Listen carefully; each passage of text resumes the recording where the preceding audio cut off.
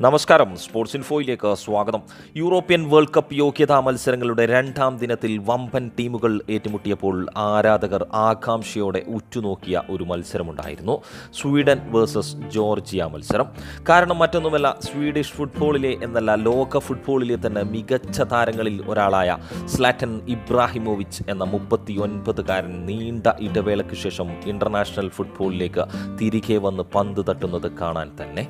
വർഷങ്ങൾക്ക് മുന്നേ ഇന്റർനാഷണൽ ഫുട്ബോളിൽ നിന്നും വിരമിച്ച ഇബ്രാഹിമോവിച്ചിന്റെ തിരിച്ചുവരവ് വെറുതെയായില്ല. പെനാൽറ്റി ബോക്സിനകത്ത് മൂന്ന് ഡിഫൻഡർമാർക്കിടയിൽ ഉയർന്നു വന്ന പന്ത് ചെസ്റ്റിൽ സ്വീകരിച്ച് വലതുകാൽ കൊണ്ട് ഇടതുവശത്തേക്ക് സുന്ദരൻ അസിസ്റ്റ് നൽകി ക്ലാസിനെ കൊണ്ട് ഗോളടിപ്പിച്ച് സ്വീഡന് വിജയമൊരുക്കിയാണ് മുപ്പത്തിയൊൻപതുകാരൻ തിരിച്ചുവരവ് സ്വപ്ന തുല്യമാക്കിയത് സ്വീഡന് വേണ്ടി മുപ്പത്തിയൊൻപതുകാരൻ തിരികെ വന്നപ്പോൾ ജർമ്മൻ പടയിൽ കണ്ടത് യുവതാരം ജമാൽ മൂസിയാല ജർമ്മനിക്കായി അരങ്ങേറ്റ മത്സരം കളിച്ച കാഴ്ചയാണ്. മത്സരത്തിൽ ജർമ്മനി എതിരില്ലാത്ത മൂന്ന് ഗോളിന് ഐസ്ലാൻഡിനെ പരാജയപ്പെടുത്തി.